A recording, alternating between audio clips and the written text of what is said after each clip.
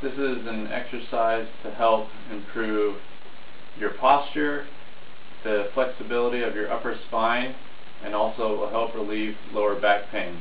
So this is the exercise that I've been doing since I last pulled my lower back to relieve myself and make sure my back is strengthened so I won't injure it again. So you want to stand in front of a wide flat wall. I don't have one, but the doorway will work well enough since it's a flat door. You want to stand a couple of inches away from the wall because you're going to lean back against it.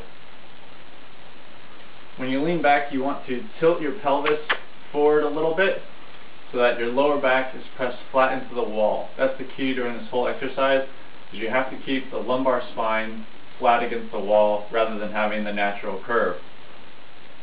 Now, I'm not flexible enough to get my upper spine against the wall, but that's one of the goals of doing this exercise is it will increase the flexibility and get my shoulders and upper back flat there. You can see my shoulders come off a little bit.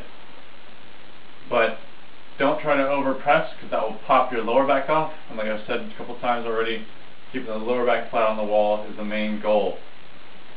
So what we're going to do is staying in, staying in this position, we're then going to raise our arms like we're surrendering and you're trying to press your elbows and the backs of your hands flat into the wall. So you'll go up and squeeze, one, two, and relax. And this is not comfortable. This is uh, stretching out my upper back and my chest and my spine. Um, you know, it, it is admittedly just not a comfortable thing on your shoulders but it's also not a sharp, awful pain. It's just a big stretch because we're not used to having to stretch this way. So we're just going to do 10 of these. And like I said, just hold that squeeze for two seconds. Again, the key is keeping that lower back flat against the wall. And that's it, just 10 of them, one time per day.